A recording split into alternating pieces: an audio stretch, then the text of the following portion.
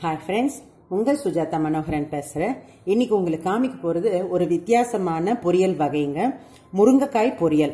இது ரொம்ப வித்தியாசமாக இருக்கும் ரொம்பவும் டேஸ்டாக இருக்கும். ரொம்ப அதாவது தேங்காயெல்லாம் இதுக்கு கொஞ்சமாக இருந்தால் போதும். துவரம்பருப்பு போட வேண்டிய அவசியம் இல்லை. ரொம்பவும் டேஸ்ட்டாக நல்ல ஒரு சாதத்தில் போட்டு பிசைஞ்சு சாப்பிட்ற மாதிரி செமி சாலிடாக ரொம்பவும் நல்லா இருக்கும். டேஸ்டாகவும் இருக்கும். இப்போ இதுக்கு வந்து நான் ஒரு பெரிய முருங்கைக்காய் அளவு ஆவியில் வச்சு வேக வச்சு எடுத்து வச்சிருக்கேன். அதாவது இது சாதத்துக்கு மேலே நாம வச்சு ஒரு விசில் ரெண்டு விசில் விட்டு நம்ம எடுத்துக்கலாம். இல்லைன்னா தண்ணி வந்து மிதமாக தண்ணி வச்சு வேக வச்சு எடுத்துக்கலாம். அந்த தண்ணியை நான் எடுத்து வச்சிருக்கேன் பாருங்க. இந்த முருங்கைக்காய் இருத்தி வச்சுட்டு அந்த தண்ணியை வச்சிருக்கேன். இப்போ நாம் அரைக்கிற விழுதுக்கோ இல்லை அதில் ஊத்துறதுக்கோ நம்ம இதை யூஸ் பண்ணிக்கலாம். ரொம்பவும் ஈஸியாக இருக்கும் டேஸ்ட்டாகவும் இருக்கும். ஒரு பத்து பதினஞ்சு நிமிஷத்தில் நாம் செஞ்சிடலாம். இப்போ இதுக்கு நான் வந்து தேங்காய் எடுத்து வச்சுருக்கேங்க மிக்சிக்கு. அதாவது இது வந்து கொஞ்சம் தேங்காய் போட்டு அரைச்சோன்னா டேஸ்ட் ரொம்பவும் நல்லா இருக்கும். தேங்காய் ஃபர்ஸ்ட் நாம போட்டுக்கிட்டேன் இதுக்கு தேங்காய் போட்டுக்கணும். அதுக்கப்புறம் நான் வந்து நம்ம வீட்டு சாம்பார் பொடி அப்படின்னு சொல்லிட்டு உங்களுக்கு ஒரு வீடியோ இருக்கும். சப்ஸ்கிரைப் பண்ணிட்டவங்களுக்கு தெரியும். இல்லைனாலும் சப்ஸ்கிரைப் பண்ணிட்டு நீங்க அதை பார்த்துக்கோங்க. இது ரொம்பவும் ஈஸியா இருக்கும். இது நம்ம இது மாதிரி வறுத்து வச்சுக்கிட்டோம் அப்படின்னா எப்ப வேணாலும் யூஸ் பண்ணிக்கலாம். இப்போ அதுல இருந்து தான் இந்த சாமான்களை நான் போட போறேன். இதுக்கு வந்து கடலப்பருப்பு உளுத்தம்பருப்பு ஜீரகம் மிளகு தனியா இதெல்லாம் போடணுங்க. இப்போ நான் இதெல்லாம் வறுத்து வச்சிருக்கிறதால ஈஸியா இருக்கும். இப்போ இது வறுத்துக்கணும் அப்படின்னா நாலு ஸ்பூன் கடலப்பருப்பு ரெண்டு ஸ்பூன் துவ உளுத்தம்பருப்பு நாலஞ்சு ஸ்பூன் ஜீரகம் சாரி தனியா அப்புறம் ஜீரகம் மிளகு இதெல்லாம் போட்டு நம்ம வறுத்துக்கணுங்க எண்ணெய் விடாம. இதுல கொஞ்சம் பெருங்காயமும் போட்டுக்கணும். இப்போ இது மட்டும்தான் இந்த பொரியலுக்கு விழுது. அதனால கொஞ்சம் விழுது நம்ம கொஞ்சம் ஜாஸ்தி எடுத்துக்கணும். இது வந்து வைஷ்யாஸ் வீடுகளில் வந்து முனக்காய் புள்ளனி புலுசுக்கூரா அப்படின்னு சொல்லிட்டு செய்வாங்க. அதனால இது எங்க ஃபேமிலிஸ்ல ரொம்பவும் இன்ட்ரெஸ்டிங்கா எல்லாருமே விரும்பி சாப்பிடுற ஐட்டமும் கூட. இப்போ இதுக்கு வந்து மஞ்சத்தூளும் பெருங்காயமும் நாம போட்டுக்கணும். இப்போ பெருங்காயம் போட்டுக்கலாம் ஃப்ரெண்ட்ஸ் இப்போ இதை வந்து நம்ம கொஞ்சம் தண்ணி விட்டு அரைச்சிக்கலாம். இப்போ பாருங்க ஃப்ரெண்ட்ஸ் இது ஃபர்ஸ்ட் நான் ரன் பண்ணியிருக்கேன் ரன் பண்ணிட்டு இதுக்கு இந்த பொரியலுக்கு வந்து தேவையான அளவு புளி தண்ணி. இப்போ ஒரு அரை க- அரை கரண்டியை விட கம்மியாக ஊத்த புளி தண்ணி ஊற்றிருக்கேன் இப்போ இதுக்கு தண்ணி ஊற்றி நாம அரைச்சிக்கலாம். இப்போ பாருங்க ஃப்ரெண்ட்ஸ் விழுது அரைச்சிட்டு வந்துச்சு இப்போ நாம அடுப்பு கிட்ட என்ன செய்யணும்னு சொல்லிட்டு காமிக்கிறேன் பாருங்க. இப்போ நான் அடுப்புல வந்து எண்ணெய் வச்சிருக்கேன். ஒரு ரெண்டு ஸ்பூன் அளவுக்கு இதுக்கு தே அதிகமாக எண்ணெய் தேவையில்லை. இப்போ இது வந்து கடுகு தாளிச்சுக்கலாம்.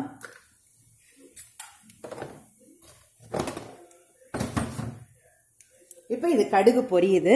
இது இப்போ வந்து நாம என்ன ரெடி பண்ணியிருக்கோம் அப்படின்னா வெங்காயம் வந்து ஒரு மீடியம் சைஸ் வெங்காயம் கட் பண்ணி வச்சிருக்கேன். கொஞ்சம் பெரிய பீசஸாக கட் பண்ணிக்கணுங்க. அப்பதான் இதில் வந்து கரெக்டாக இருக்கும். எடுத்து சாப்பிடும்போது நல்லா இருக்கும் கொஞ்சம் நறுக்குன்னு இருந்தால் நல்லா இருக்கும் அதனால கொஞ்சம் பெரிய பீசஸாக நான் கட் பண்ணியிருக்கேன் இப்போ இது கடுகு பொரிஞ்சிடுச்சு. இப்போ இந்த டைம்ல வந்து நம்ம இந்த கருவேப்பிலையும் வெங்காயத்தையும் நம்ம போட்டுடலாம். போட்டு ஜஸ்ட் ஒரு ரெண்டே ரெண்டு வதக்கு. ரொம்ப வதங்க வேண்டியதுன்னா ஒரு நிமிஷம் வதக்கினா போதும்.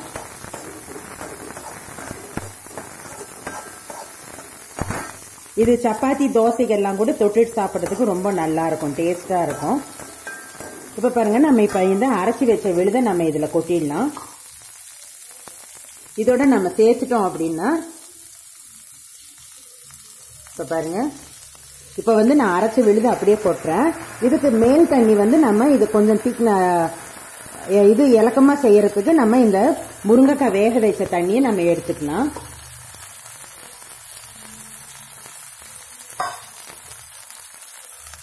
இப்போ பாருங்க முருங்கைக்காய் நம்ம வேக வச்ச அந்த தண்ணியை வந்து இதில் நான் ஊற்றுறேன்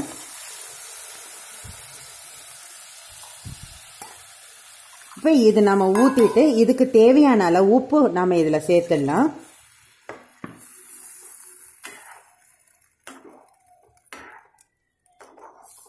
இப்போ இந்த டைமில் வந்து நம்ம இந்த முருங்கைக்காயும் இதில் சேர்த்துடணும்.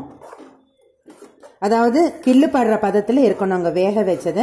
அந்த டைமில் இதில் போட்டால் தான் கரெக்டாக இருக்கும் நமக்கு. இப்போ இது கூட இன்னும் கூட கொஞ்சம் தண்ணி போட்டு ஊற்றிக்கலாம் நம்ம இதுக்கு. இப்போ ஃபஸ்ட்டு நம்ம உப்பும் கொஞ்சம் வெல்லம் போட்டுடலாம் இதில். இப்போ பாருங்கள் ஃப்ரெண்ட்ஸ் இதுக்கு தேவையான அளவு உப்பு. இப்போ இதுக்கு வந்து எப்படியும் ஒரு ஒன்றரை ஸ்பூன் அளவு அளவுக்கு உப்பு பிடிக்கும். இப்போ இது வந்து கொஞ்சம் கொதிக்க விடணும். இதில் வந்து கு- துளியோண்டு வெல்லம் போட்டோம் அப்படின்னா நம்ம ஊற்றிருக்கிற இருக்கிற புளிப்புக்கு செய்கிறதுக்கு செய்யறதுக்கு நல்லா இருக்கும் சாப்பிட்றதுக்கு. ரொம்ப போட வேண்டிய அவசியம் இல்லை. ஜஸ்ட் ஒரு சின்ன நெல்லிக்காய் அளவுக்கு நம்ம வெல்லம் போடலாம். பாருங்க இவ்வளோ இருந்தால் போதும். ஒரு சின்ன நெல்லிக்காய் அளவுக்கு வெல்லம் இருந்தால் அந்த டேஸ்ட் நல்லா என்ஹான்ஸ் ஆகும் அந்த புளி தண்ணியோட சேரும்போது நல்லா இருக்கும் சாப்பிட்றதுக்கு. இப்போ பாருங்க இது கொதிக்க ஆரம்பிச்சிருச்சு. இப்போ இந்த டைம்ல வந்து நம்ம இந்த முருங்கைக்காவை இதில் போட்டுட்டோம் அப்படின்னா இது கொதிச்சு அந்த டேஸ்ட் வந்து அந்த குழம்புடைய டேஸ்ட் வந்து இந்த நம்ம அரைச்சி விட்டுருக்கிற விழுதில் இருக்கிற டேஸ்ட்டை இந்த முருங்கைக்காவுக்கு சேரும். இப்போ இது வந்து நம்ம எடுத்து பரிமாறுற மாதிரி கெட்டியாக ஒரு ஸ்பூனில் கொ- சட்னி எடுத்து பரிமாறுற அளவுக்கு இது வெந்து கெட்டியாகணும். இப்போ பாருங்க இப்போ நம்ம ஊற்றினதுக்கு இப்போ மறுபடியும் கெட்டியாக இருக்கு. அதனால இன்னும் கொஞ்சம் நான் தண்ணி ஊற்றுறேன் இப்போ நம்ம க இறக்கும் போது டேஸ்ட் பார்த்துக்கணும் புளி நம்ம ஊற்றிருக்கிற புளி வெல்லம் எல்லாம் கரெக்டாக இருக்கா? காரம் அப்படின்னு சொல்லிட்டு செக் பண்ணிக்கணும். இது இன் கொஞ்சம் நிதானமாக வேகும். நம்ம இதை அடுப்பு வந்து சன்னம் வச்சு மூடி வச்சு நிதானமாக வதக்கி எடுக்கலாம். இப்போ பாருங்க ஃப்ரெண்ட்ஸ் ரெண்டு நிமிஷம் ஆச்சு நம்ம மூடி வச்சு. பார்த்தீங்களா கொதிக்க ஆரம்பிச்சு. நான் அனல் கம்மியாக தான் வச்சிருக்கேன். இது மாதிரி இருந்துச்சு அப்படின்னா அனல் கம்மியாக இருந்ததுன்னா அந்த முருங்கைக்காவில் அந்த காரம் புளிப்பு எல்லாம் ஏறும். அந்த மீன் டைம் இந்த வெங்காயமும் வதங்கி ஒரு டேஸ்ட் நல்லா இருக்கும் சாப்பிட்றதுக்கு. கெட்டியாகவும் இருக்கும் மெல்றதுக்கு சாஃப்டாக நல்லா இருக்கும். நறுக்குன்னு ஒரு மாதிரி நல்லா இருக்கும் அந்த வெங்காயம். அதனால இப்படி நாம நிதானமாக மூடி வச்சு ஒரு ரெண்டு மூணு நிமிஷம் விட்டு விட்டு ஒரு நாலு தரம் கலந்து விடலாம். இப்போ பாருங்கள் ஃப்ரெண்ட்ஸ் இது கிட்டத்தட்ட இறக்குற ஸ்டேஜுக்கு வந்துடுச்சு. நான் இதை வந்து இப்போ ரெண்டு மூணு தரம் கலந்து விட்டுருப்பேன். ஒரு ரெண்டு நிமிஷம் மூணு நிமிஷம் கேப்பில் அதாவது ஒவ்வொரு தரத்துக்கும் ஒரு ரெண்டு நிமிஷம் கேப் விட்டு நான் கலந்து விட்டுருக்கேன். இப்போ பாருங்கள் இது வந்து கரெக்டான திக்னஸில் இருக்குது இதை அப்படியே எடுத்து நான் சாதத்துக்கோ இல்லை இட்லிக்கு ஆப்பத்துக்கு எல்லாத்துக்குமே தொட்டுட்டு சாப்பிட்றதுக்கு நல்லா இருக்கும். சப்பாத்திக்கு எல்லாத்துக்குமே தொட்டுட்டு சாப்பிட்றதுக்கு. பிரெட்டு கூட ரொம்பவும் நல்லா இருக்கும். இப்போ இது வந்து நான் டேஸ்ட் பண்ணி பார்த்ததுல காரம் புளிப்பு எல்லாம் சரியா போச்சு. உப்பு மட்டும் கொஞ்சோண்டு பத்தலை. ஏன்னா சாதத்தில் நாம போட்டு பிசைஞ்சிக்கும் போது உப்பு பத்தாது. அதுக்கோசம் கொஞ்சம் போல உப்பு போடுறேன். உப்பு போட்டுட்டு நம்ம இதுக்கு கொத்தமல்லி ரெடி பண்ணி வச்சிருக்கேன். அதையும் போட்டுடலாம் இதில் நம்ம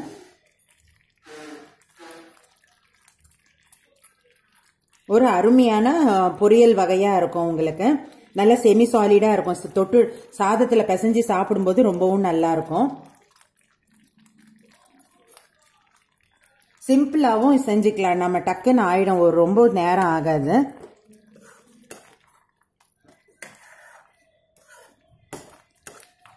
இப்போ பாருங்க. ஒரு அருமையான புளிக்குழம்பாட்டம் இருக்கும். இது சாப்பிட்றதுக்கு. இதுக்கு முருங்காய் பொரியல் பேரு. தெலுங்குல வந்து முனக்காய் புலுஸ்கூரை அப்படின்னு சொல்லிட்டு சொல்லுவாங்க. பாருங்க. இது வந்து நம்ம இன்னும் ஒரு கொஞ்ச நேரம் அதாவது ஒரு கால் மணி நேரம் கழிச்சு நம்ம எடுக்கும் போது இன்னும் கெட்டியாயிடும். இப்போ செமி சாலிடா இருக்கு. இன்னும் கொஞ்சம் கெட்டியாகி இன்னும் சாப்பிட்றதுக்கு ரொம்பவும் டேஸ்டா இருக்கும். சூடான சாதத்துல நெய் போட்டு இதை பிசைஞ்சு சாப்பிட்டோம் அப்படின்னா ஒரு லைட்டாக ஒரு அப்பளமோ ஒரு லைட்டாக இருந்தால் போதும் ரொம்பவும் டேஸ்ட்டாக இருக்கும். இது உங்களுக்கெல்லாம் பிடிச்சிருக்கும்னு நினைக்கிறேன். இது வரைக்கும் சப்ஸ்கிரைப் பண்ணிக்காதவங்க சப்ஸ்கிரைப் பண்ணிக்கோங்க. பெல் பட்டன் ப்ரெஸ் பண்ணி நோட்டிஃபிகேஷன் வந்துருச்சான்னு பார்த்துக்கோங்க.